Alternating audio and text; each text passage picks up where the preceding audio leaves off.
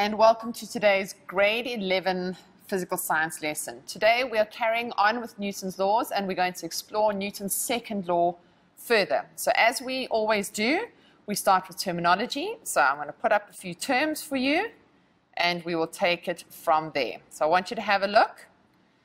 I want you to tell me what the following words or terms mean. Independent variable, directly proportional, and inversely proportional. So I'm going to give you two minutes. I want you to just write down what you think these words mean, or what the terms mean. Ask a friend if you need to. Two minutes starting now.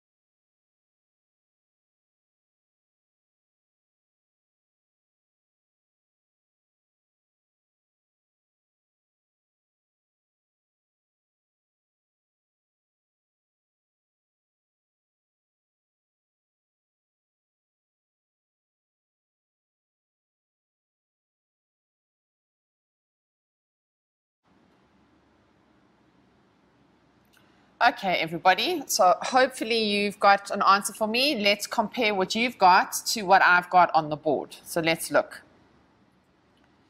For the first piece of terminology, what does the following word or term mean? Independent variable. So I have here that the independent variable is the variable that the investigator changes. So in other words, you are doing the investigation, you make the change. Okay, so that is the independent variable. Something is going to rely on what you do, what change you make. Okay, then directly proportional. This is a relationship in which the values of dependent variable change in the same ratio as the values of the independent variable changes. Okay, that's a lot to take in, so let me go through it again. I'm going to go through it slowly and underline the important parts. It is a relationship. That's the first thing, in which the values of the dependent variable change in the same ratio. Important word that, as the values of the independent variable. Okay, so because we're talking proportion, proportion means that we need to talk about ratio. Okay, I hope you remember that. Make a note of it if you didn't have that in your definition, please. Then inversely proportional. Again, a relationship in which the values of the dependent variable change in an inverse ratio to the values of the independent variable changes. Okay, so slowly, what does it mean? So it's a re relationship, again, involves a dependent variable this time, the change is an inverse ratio. Okay, so what does that mean? That means as one value increases, the other value is going to decrease by the same proportion. Okay, remember I said to you proportion is important. So as the one increases, the other one is going to decrease in the same ratio or by the same proportion. It's really important that you remember those. So proportion, remember we're talking here about ratio. And then, of course, we talk about the independent variable. Please just make a note. This word, inversely, okay, please use that word. Do not use the word indirectly. Okay, please use the word inversely. And then for the other proportion, it's direct proportion. So now, what does this mean? What does inversely proportional or what does directly proportional mean? What does it mean to us as scientists in the laboratory? Let's have a look. I'll give you an example here.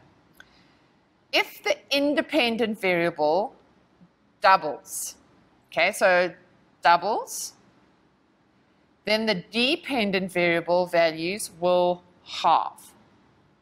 Okay, so remember I said to you, if the one value increases by a certain amount, the other one is going to decrease by the same amount or in proportion or in the same ratio. So this one doubled, the dependent variable halved. Okay, so independent variable, you made the change, you made it double. That means the other variable had to halve. Okay? dependent variable is directly proportional to reciprocal. Okay, goodness, what does this word mean? Reciprocal means, in maths terms, 1 over. So I'm going to say here 1 over x. So my reciprocal is, mathematical terms, the 1 over. Puts it into the bottom of the fraction. Okay? We've had a lot of words. Can we represent this in another way besides words? And we can we can use a graph. So if I have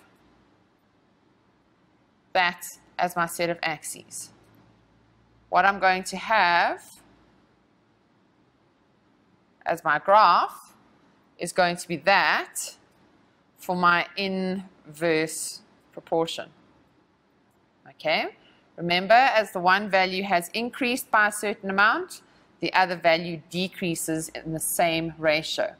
But just so that you can make sure, I want to compare it to direct.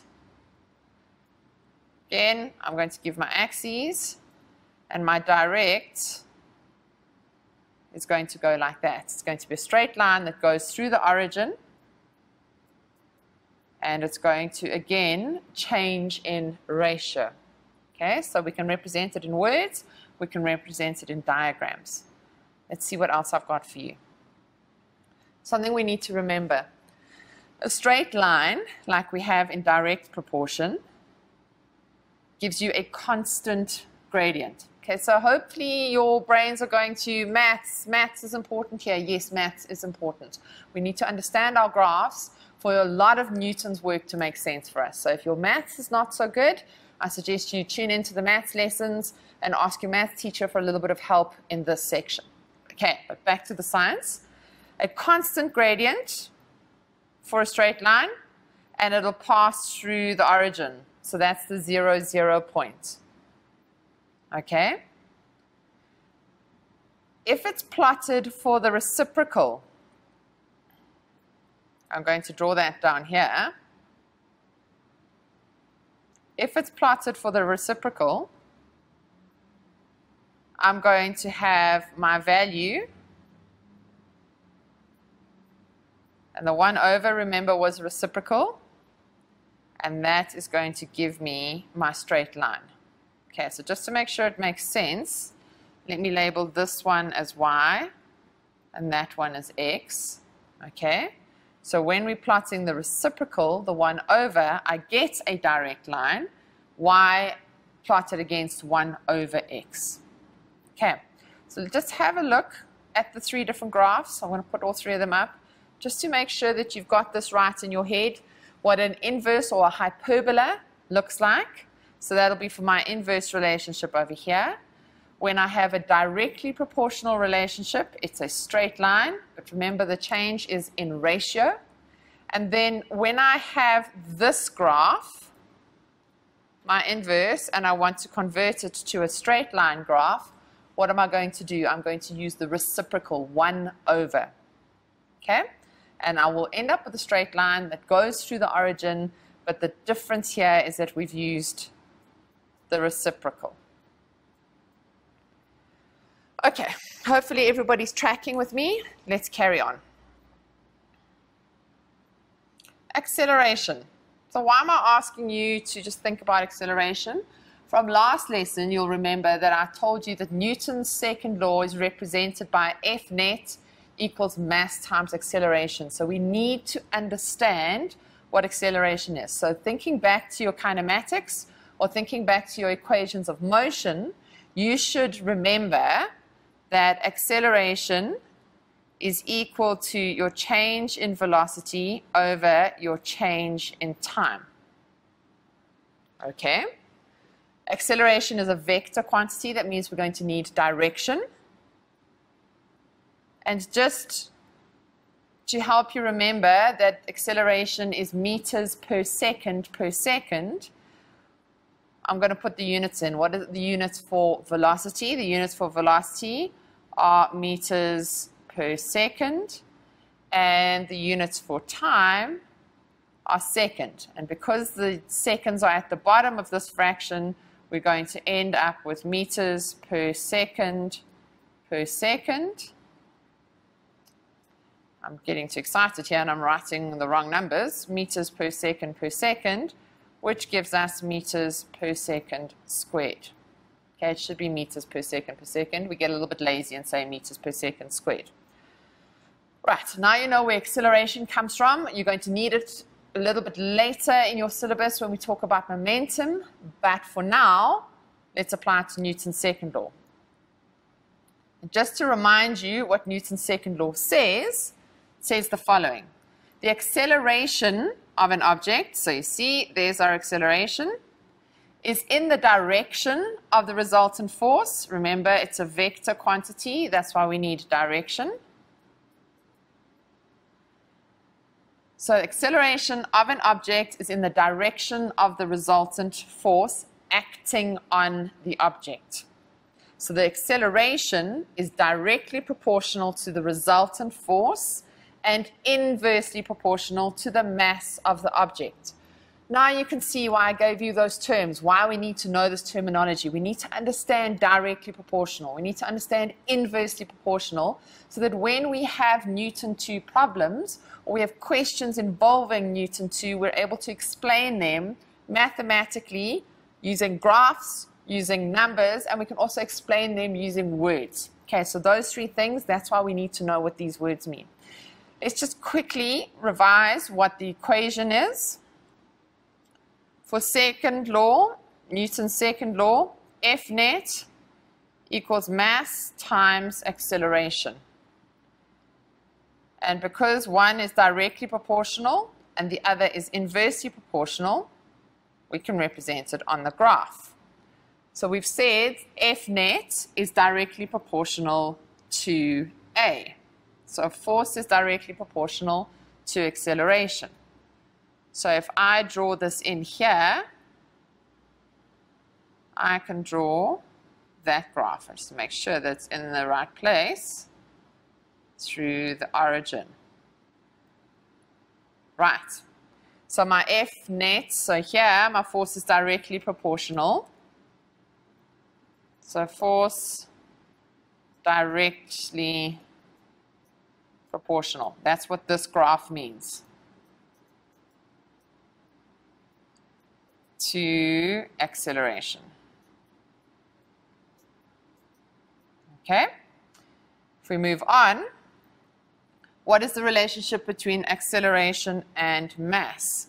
Here, our relationship is an inverse or a hyperbola.